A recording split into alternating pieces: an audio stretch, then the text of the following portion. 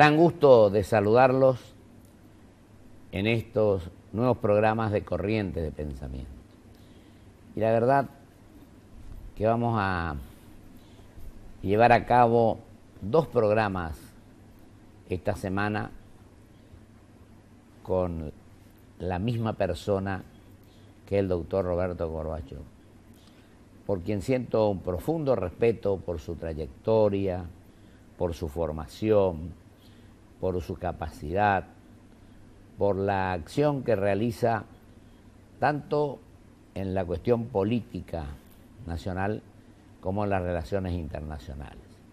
Yo voy a dejar al doctor que nos ha dejado tan bien al país en el mundo, de que para que él este, nos diga todo lo que ha hecho en este tiempo en forma breve. Pero vamos a hacer el programa de hoy, del jueves y lo el del martes y lo vamos a invitar el jueves, hoy para hablar de las relaciones internacionales, de la situación por la que estamos atravesando, el tema del default, no default. Y el jueves vamos a abordar la política nacional. Tenemos elecciones en un año y pico de presidente y vice de la nación, de gobernadores, salvo Corrientes y Santiago del Estero, de legisladores nacionales, etc. yo quiero agradecerle profundamente al doctor Guayo que se haya este, realmente prestado a que a llenar estos programas, a decirnos las cosas como son. Eh, hoy, doctor, si le parece bien, abordamos el tema de relaciones internacionales. Y yo le dejaría, usted que ha estado en, distintos lugares del mundo, universidades del mundo, dejando muy bien sentados los prestigios de nuestro país. Usted le diga a los televidentes. Bueno, le agradezco sus palabras. No, al contrario. Eh, bueno, no, lo que he hecho he estudiado, he estudiado ciencia política en la Argentina y después eh, trabajé en distintos, en diversos centros de investigación. He sido ejercido siempre la, docencia. Empecé, empecé en realidad como docente de maestro hace muchos años. Ese fue mi primer trabajo, maestro de grado. Y luego seguí, cuando ya obtuve el título universitario, en la enseñanza universitaria. Yo soy también ¿Eh? maestro ah, antes del título universitario. coincidimos. Exactamente. Y luego fui a, estudiar, eh, hice una maestría primero en el exterior, en los Estados Unidos, y después hice también eh, mi doctorado en los Estados Unidos. Y en la Argentina este, fui en su momento becario de del CONICET y también me dedico a la investigación. Me doctoré, en les decía, en los Estados Unidos y en la actualidad soy profesor universitario y soy director del Departamento de Ciencias Políticas y Relaciones Internacionales de la Universidad del SEMA. Un gran gusto que esté hoy en corriente de pensamiento. Gracias. ¿Qué le parece, doctor, lo que está ocurriendo en el mundo?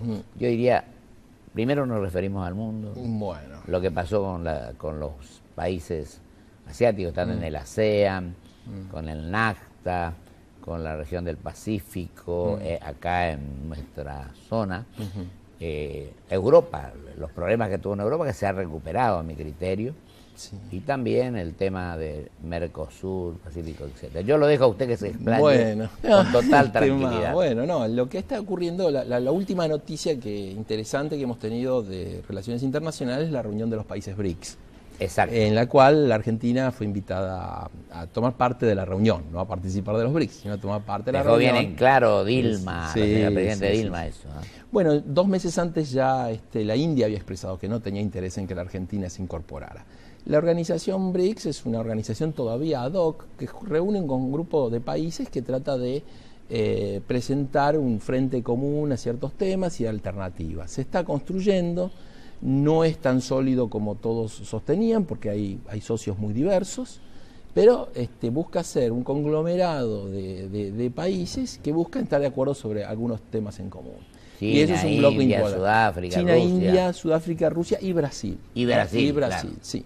El último que se incorporó fue Sudáfrica, entonces esa sería la pata, la pata africana. No, no tenía, y Brasil ya es la pata latinoamericana. Luego está Rusia, China y la India.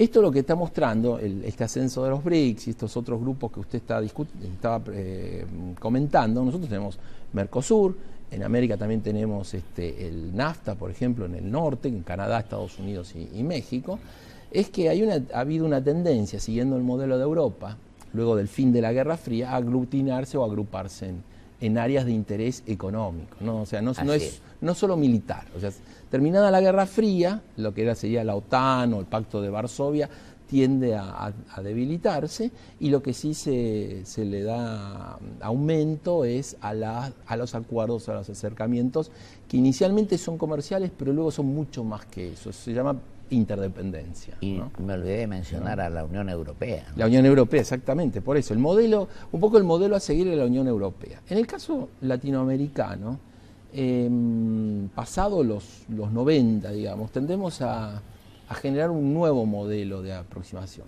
lo nuevo es lo que se llama la UNASUR. Y además la dependencia a otros, o sea, no solo Mercosur, hay este, una comunidad de estados del Pacífico, o sea, hay distintos nucleamientos. Usted no cree, mi querido doctor, mm. discúlpeme la interrupción. Mm, sí. Yo tuve el honor cuando era gobernador de mi provincia que el presidente Alfonsín nos invitara al gobernador de Misiones y a mí a la firma del Mercosur en Foz de Iguazú. Mm. Era presidente de Brasil el presidente Sarney. Sarney, sí. Bueno, pero Mercosur se ha prácticamente condensado un poco en Brasil ahora, ¿no? Brasil es sinónimo prácticamente de Mercosur. Nosotros hemos decaído un poco en ese aspecto.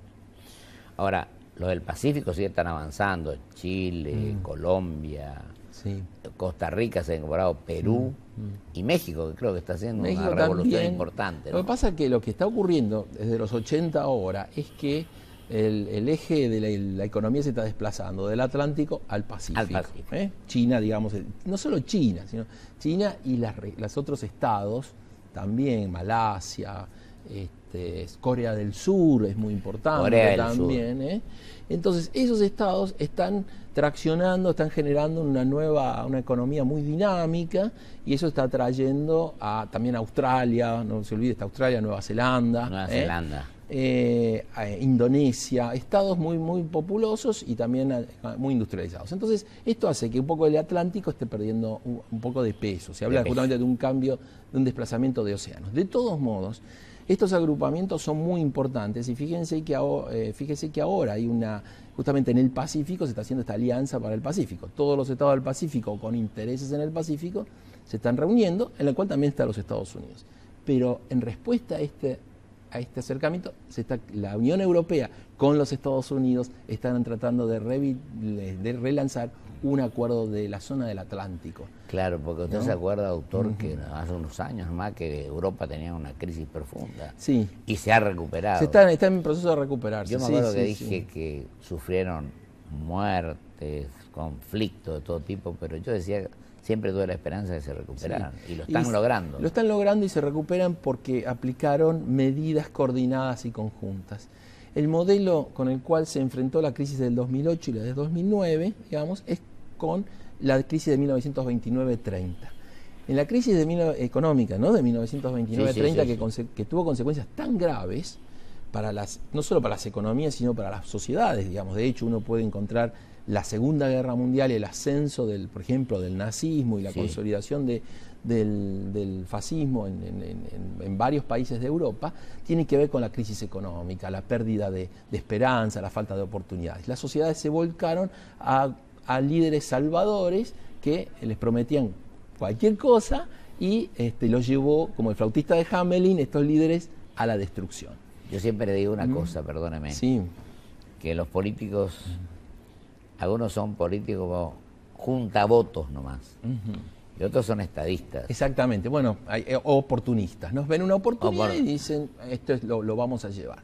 Eh, y esto fue lo que ocurrió en 1930. Cada país buscó su propia solución. Devaluación, restricción de las importaciones, eh, un intento de aumentarlas, obviamente con la devaluación, las exportaciones, barreras protectoras muy, muy altas, y esto generó un modelo de sálvese quien pueda que profundizó más la crisis. Así es. La crisis de del 2008-2009 no, eh, digamos, no, fue perfecta la salida, no es, este, no es perfecto, pero se buscó soluciones coordinadas.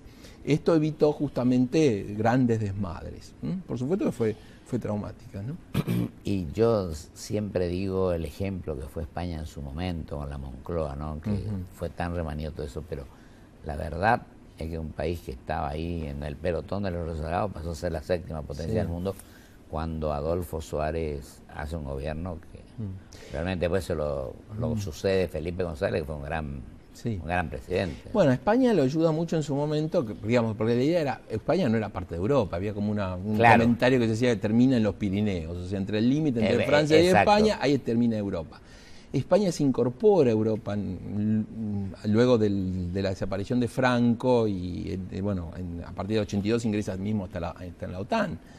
Eh, pero ahí la idea de España es la voluntad de la clase política y de la sociedad de abrazar este, eh, los valores de Europa, abrazar la democracia, acuérdese el intento de golpe que hubo también, en la cual el rey eh, de España sostuvo la institucionalidad. Y eso es muy importante. Entonces España se transformó, a pesar de su incremento en la, en la riqueza, en un país predecible, un miembro útil del sistema internacional. Bueno, en este momento estaba, estaba pasando una situación también muy traumática, pero un poco a, diferencia de otros países, yo diría hasta, de la Argentina, no adopta soluciones, este, eh, no, no, no, rompe con la, con la historia, con las, con las instituciones internas y externas, sino que busca reacomodarse a esta nueva situación y bueno, va, va saliendo, ¿eh?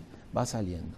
Otras soluciones pueden, dar, pueden, pueden salvar a la gente en el corto plazo, pero en el mediano y largo plazo eh, no hay nada. O sea, si por ejemplo a España se le hubiera propuesto irse de la Unión Europea, por ahí alguien le dice, venga, escuchen el canto del cisne, van hacia allá, de las sirenas, perdón, van hacia allá y no alcanzan. Y luego, pan para hoy, hambre para hambre mañana. Para mañana. Este es el tema, ¿no?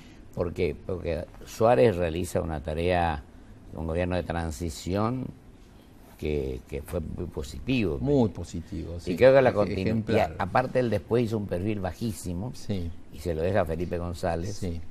Después viene el Partido Popular.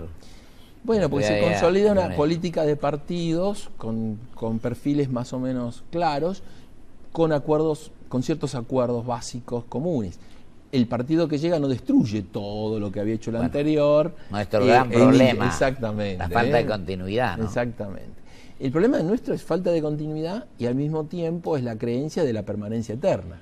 Exacto. Usted piense que yo creo que uno parte de nuestros problemas, eh, si lo comparamos con otros países, es que en estos 30 años de democracia ha sobrevivido la democracia porque la sociedad argentina finalmente, digo comparándola con el 55 83 y, y, anteriormente, no había un convencimiento de que la democracia era lo el menos malo o el mejor posible. Entonces siempre había algún otro modelo, había alguien salvador que podía cambiar.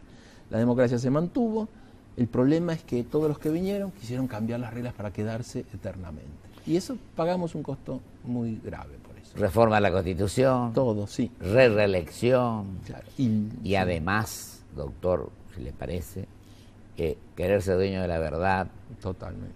Nunca decir me equivoqué. Mm la culpa no la tengo yo, sino la tiene el otro. Y la falta de diálogo, de debate, de estudiar los temas también. Bueno, de previsibilidad. exacto. Bueno, ese es, ese es el tema, digamos. Eh, un tema importante es, primero, fundamental, la, la predecibilidad. Y la otra tiene que ver con el reconocimiento de que hay pluralidad de opiniones. Claro.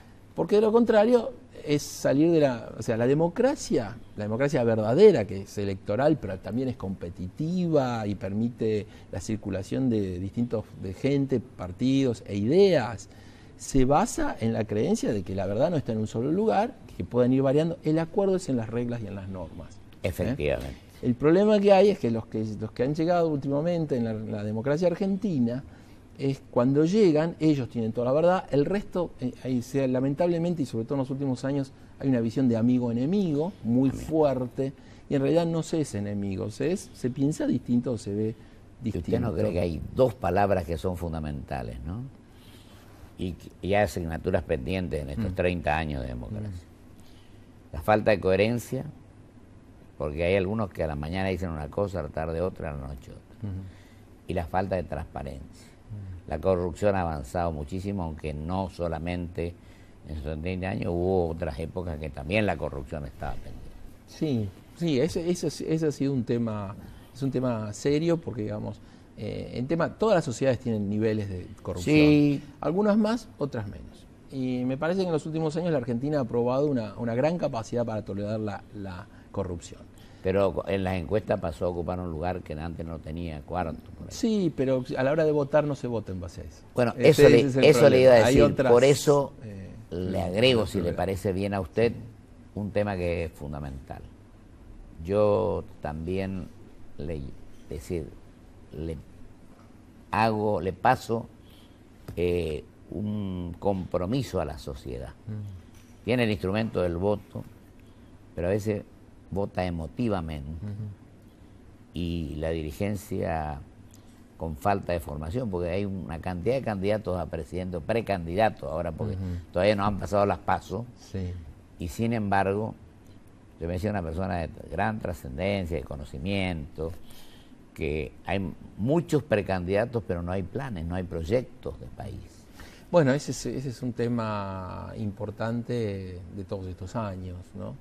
Eh, el, modelo de política que tenemos está centrado en candidatos. El candidato además tiene que hacerlo en un formato de medios, cada vez con menos densidad de contenidos. Entonces hay que crear efectos, hay que crear eh, imágenes. Esto también un poco se llamaba en su momento la videopolítica y ahora se ha cambiado por, porque tienen impacto en los otros artefactos electrónicos. Entonces eh, no hay un debate o un, diálogo de qué se va a hacer. Y, Llego a lo último, doctor. los presupuestos, la ley de leyes, mm. se están ahora se están aprobando a libro cerrado. No se discute, no se debate, no se analiza. Bueno, eso es un problema, eso eh, viene de una falta muy grave que, digamos, de desvalorización de, eh, de, la importancia que tiene el, presupuesto y, las, y, lo que está escrito, eso debería ayudar a continuar eh, sino también, bueno, eso nos, nos, ayuda a, la, no, no, darle importancia, nos quita predecibilidad y aumenta la arbitrariedad. Yo ¿eh? tuve mi experiencia como senador por mi provincia, digo que los, presupuestos para antes de aprobarlos se debatían dos meses, tres meses, se analizaba. Mire, algo muy grave que ha ocurrido aquí. ¿En qué país democrático, serio, el propio Congreso abandona sus responsabilidades, su rol. y lo deja al Poder Ejecutivo para que distribuya como quiere. El sistema republicano está inexistente. ¿no? Eso es la destrucción del sistema republicano y eso es lo que hacía la monarquía absoluta por derecho divino. Eso es lo que hacían algún este, gobernante autoritario de la, en la tradición latinoamericana, ¿no? que, ah, que el, el decisionismo. ¿no? Entonces, este, eso es un grave problema. Y, esto se hizo en la Argentina, lo hemos, lo hemos vivido ahora. Y creo, querido doctor, que tenemos culpas concurrentes, tanto oficialismo como oposición. Sí, sí. Eso lo digo siempre, uno se equivocó muchas veces, yo me equivoqué muchas veces.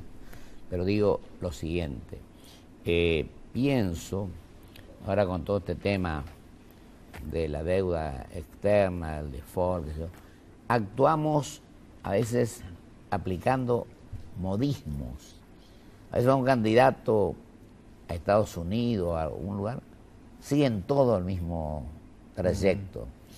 Y lo otro es este tema, yo me acuerdo cuando acá se declaró el default, la presidencia del... Eh, aquella de, de, de, que fue un gran gobernador de su provincia y un muy buen senador, pero el, Congreso se vino encima. Es lo mismo cuando la guerra de Malvinas. Exacto. La mayoría estuvo de acuerdo, ¿Eh? Éramos muy, muy pocos los que no. Mm. Yo me acuerdo que cuando el general Galtieri salió a los balcones de la Casa de Gobierno, nosotros estábamos con mi señora, con el don Arturo Ilia y con don Roque Carranza en Bariloche, mm. viendo por televisión aquello. Claro, no se podía creer. Entonces hay cosas que a la gente a veces la revela, nos critican a los políticos, y la culpa a veces la tenemos nosotros mismos. No sé qué opina usted. Yo creo que las sociedades hoy tienen los gobiernos que quieren tener. Exacto. Porque se les dan las oportunidades y bueno, elige lo que le parece mejor. No, no, yo no estoy discutiendo que no sean sabios o no, simplemente que hay una los, la clase política no sale de, no son extraterrestres como alguien nos quiere imponer. Exacto. Provienen de una sociedad que tolera y acepta muchos de los comportamientos que se hacen y, condona. Entonces, nadie está engañado sobre este, la, los niveles de corrupción que provenían en estos años de gobierno. Ya el gobierno actual, por ejemplo, hace 12 años que está, no hay, nadie se va a sorprender de qué es lo que ocurre. En la terminación de un ciclo. Otro gobierno. Sí, ahora estamos este, en eso, pero. No decimos de este gobierno, sino un ciclo histórico. yo digo, claro. Eh, yo creo que una cosa muy importante que tenemos que pensar es que el año pasado la, democracia en Argentina estuvo en peligro. Exacto. Y creo que todavía no se ha valorado eso. Pero, pero el, intento de lo que yo llamaría ya era un asalto impúdico al Poder Judicial. Este, Tremendo, cuando, la democracia... Ya habíamos eliminado el Congreso, eh, eliminar al Poder Judicial de este modo es, terrible, porque entonces se pierde la esencia del, del, principio republicano, que es la división de poderes, que permite que defender a las minorías frente a mayorías circunstanciales. No tenemos que ni siquiera ir al artículo segundo, sino artículo con, el artículo primero de la Constitución ya basta. Sí, sí, sí. doctor, y lo último, nos queda un minuto.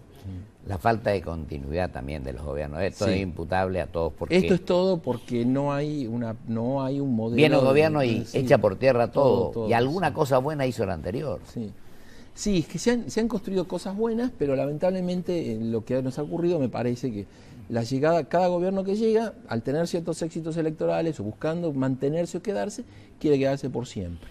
El y eso el populismo, la falta de democracia interna de los partidos, porque los partidos también estamos en crisis, y eso tenemos que reconocer. Porque, bueno, eso lo que, lo, lo, que ocurre es que a uno hay especialistas que dicen, bueno, hay una tendencia institucional que te lleva a eh, al clientelismo y lleva a la concentración de poder también. Pero al mismo tiempo también hay una abdicación por parte de los diferentes actores a que, bueno, que alguien tome las decisiones por nosotros. Yo le digo una cosa, yo fui opositor a la reforma 94.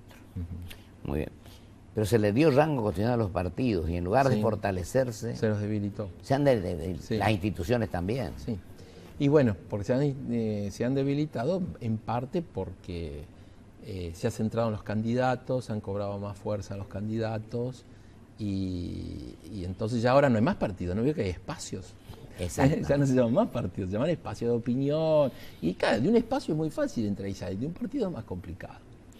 Doctor querido, le agradezco muchísimo. Le agradezco a usted su invitación. Y en la eh, yo lo quiero invitar de nuevo el próximo jueves. ¿Cómo no? Para que hablemos de política nacional, de todo. Muy bien. ¿Cómo Profundamente. Y vemos, vemos qué pasa con el tema del default, si sí, si no, después Griesa, etc.